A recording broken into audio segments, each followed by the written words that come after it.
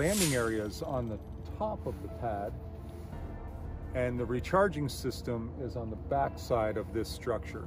On the left side, there are crew quarters for overnighting of pilots. And on the right side is a control center and a crew rest area.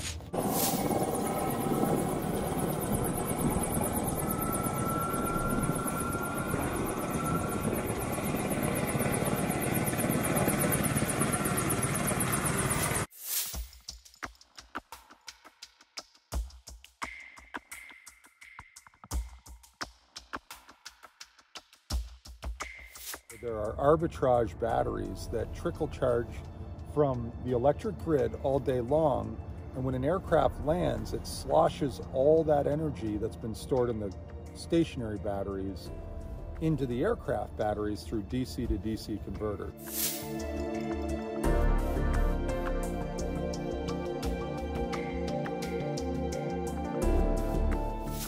So this is the uh, electric distribution container and this is a humidity and temperature controlled storage container.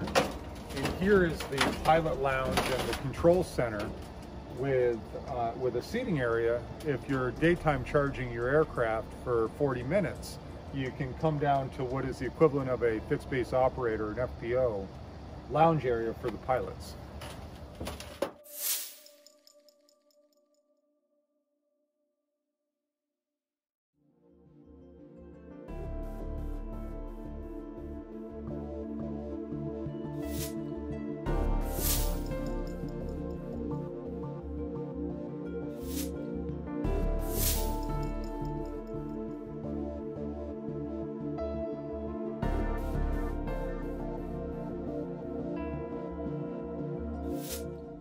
This is the uh, control center or the pilot lounge area where we, we've taken two shipping containers and we've taken a wall out of them and they both go side by side uh, and they get locked on the outside and these panels actually come off and the entire thing splits so it can go onto a truck end to end.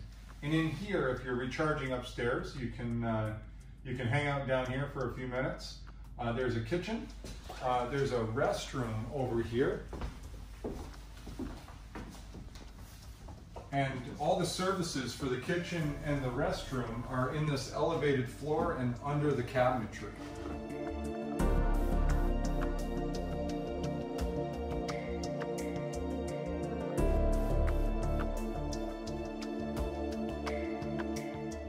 So these are the, uh, the pilot um, sleeping quarters.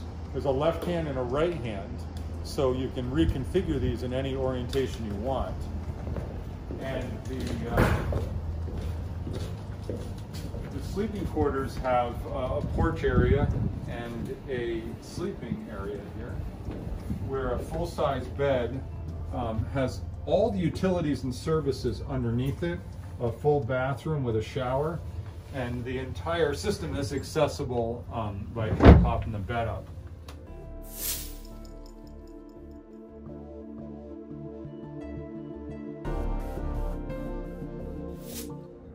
So this is the top deck of the recharging pad.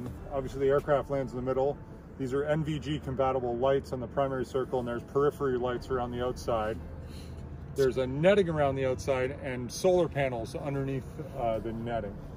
Uh, over here we have the energy storage containers. In here there's, um, there's about 500 kilowatt hours of batteries, of reused, recycled um, aircraft batteries that were used for our first test flight campaign and now they're in sub-containers inside those containers with a DC to DC converter inside there that pumps the energy down and up to the aircraft uh, when the aircraft's connected.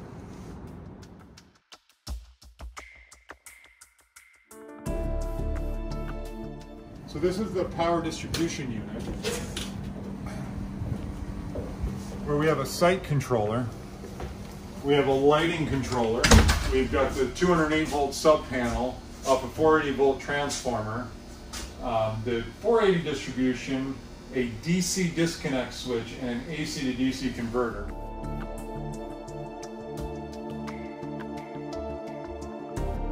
So this is uh, one of the storage containers.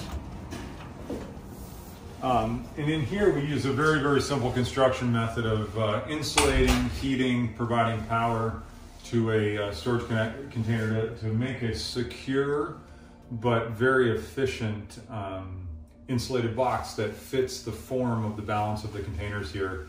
So there can be n number of these lined up at uh, any recharging pad. This particular one is just a maintenance uh, container.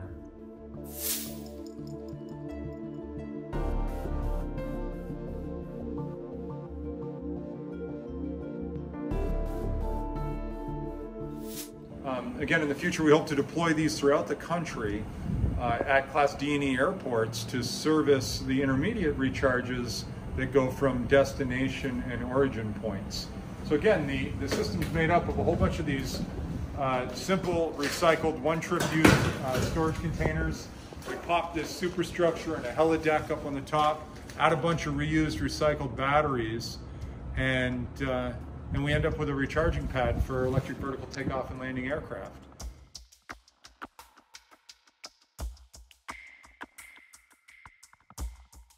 Every site is a bit different. Uh, some of them will have more energy, some of them will have more power, depending on the frequency and the utilization.